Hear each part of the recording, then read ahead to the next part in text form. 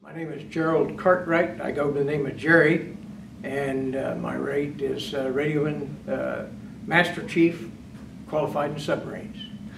We came back to uh, San Diego, and I went to the Naval Amphibious uh, Schools in Coronado, California. While I was over in the Philippines, I made E8 senior uh, senior chief. So when I got back to the Philippines, I became the the uh, chief in charge, basically, of uh, five communications courses. And while I was at Coronado, I made master chief, E9. When my time was up there, after three years, I was had uh, 18 years in the service at the time, and I was ready to go back to sea. So I contacted my detailer, and I said, hey, I said, I want a diesel boat submarine, because I'd been on three diesels detailer says, Master Chief says, uh, we don't have any diesels left out there. He Says, the only thing I got is a fast attack nuke. And I told my detailer, I says, well, I'll go back to sea on one condition. I need an NEC for chief of the boat. Because I didn't want to put uh, any E7 or E8 in an awkward position going back as a uh, chief, master chief radioman. And him junior to me. So I went back on USS Gurnard as uh, chief of the boat. It's one of those things, uh, I'm kind of torn both ways. I say to myself, Jerry, why didn't you go into nukes earlier? Much more room. It's so much cleaner. Uh, you've got so much more to do on one of those. And on the other hand, the crew are quite different. Uh, the camaraderie on, on a diesel boat is so high, but on a nuke boat it's kind of split. I'd mentioned before about the nuke trained and the non-nuke trained people, and it's almost like you have two crews.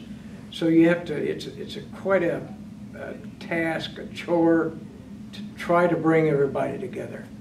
So you've got to work real hard to, to try to make sure that everybody's happy and of course, my job on there was the welfare and morale of the crew, plus watch assignments and things like that. So it was, uh, like I said, quite a bit different.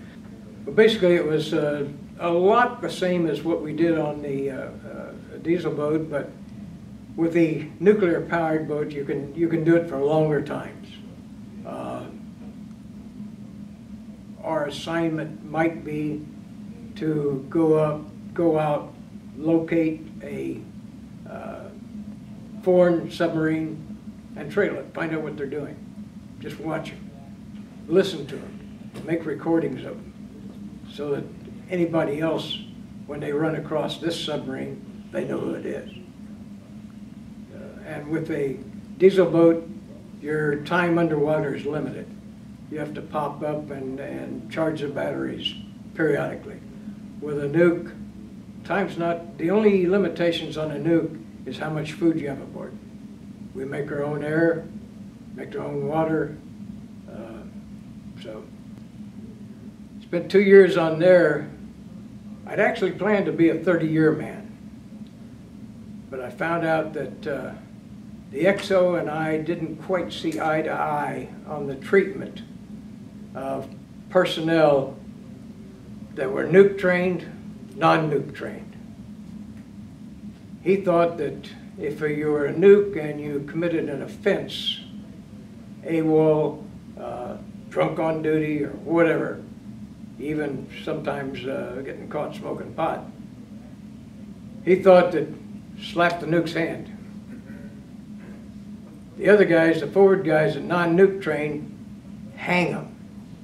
So I said, XO, you know, we can't do that. So he and I were kind of at loggerheads about how to treat the people. Shortly after we went aboard, I found out, or I, one morning we were getting underway, and we took a muster, and one of the nukes was missing. So I reported to the XO that so-and-so was missing.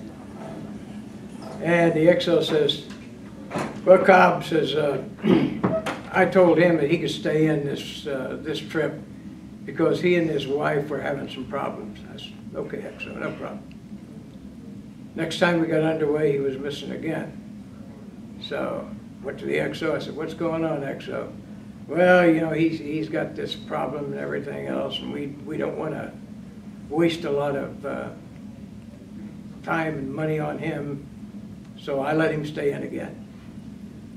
Well, finally, this guy decided to declare conscientious objector. So they immediately disqualified, disqualified him as a nuke. So the XO turned him over to me and says, COB, he's, he's gonna work forward. And I said, okay, XO, I'm gonna make him a mess cook. He was an E6, or E5, uh, second class nuke. And the XO says, you can't make him a mess cook, COB, he's a petty officer. I said, okay, XO, I'll make him a cook then. So I made him a cook. But anyway, at that time, I decided, I'm not gonna get along with this XO, so I put my papers in to retire. And we made a Westpac, and when we got back, or we headed back, we got a new XO. And the new XO and I saw eye to eye on everything. And I says, I think I'll pull my papers. Nah, I'm gonna stay, I'm gonna get out. Go ahead. So I retired on uh, February 29th, which is not time to retire, 1980. And here I am today.